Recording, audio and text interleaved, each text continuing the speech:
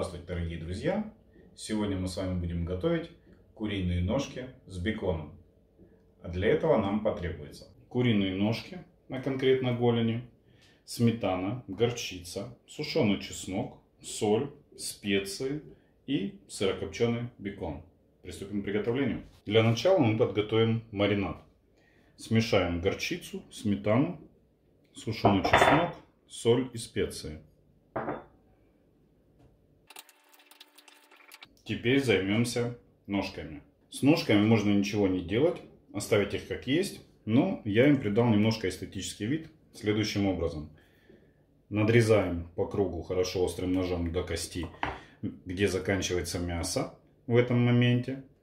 И потом, упирая один из пальцев в сустав, вот так выламываем, выламываем, выворачиваем во внутреннюю часть.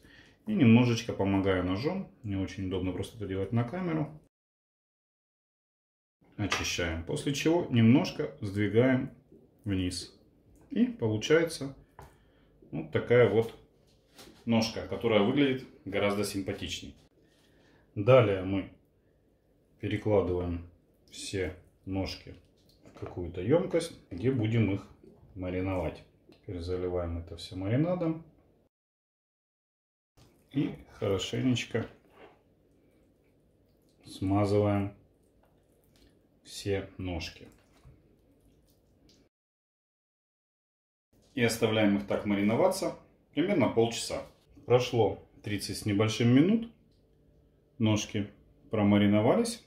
И теперь мы их будем оборачивать сырокопченым беконом. Не знаю, насколько мне это будет удобно делать на камеру, но попробую. Вот таким образом. Я надеюсь, хорошо видно, после чего вот так прижимаю везде рукой и чуть-чуть делаю вниз, чтобы ножку поставить вот таким образом. Ставить мы будем в данный момент на кицы. Можно взять любую форму для запекания.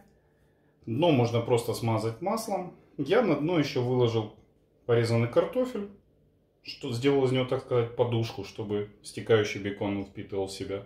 Слегка присолил и присыпал траванскими травами. Но ну, можно, конечно, этого и не делать. Сейчас таким образом мы установим все голяшки на кицы. Все готово, все ножки расставлены на кицы. Теперь разогреваем духовой шкаф до 180-190 градусов и запекаем ориентировочно 30-40 минут. В итоге вот такая красота у нас получилась нам осталось буквально украсить рубленой зеленью. В данный момент я украшу рубленым луком. Можно собирать всех за стол. Ставьте лайки, пишите комментарии. До встречи в следующем видео.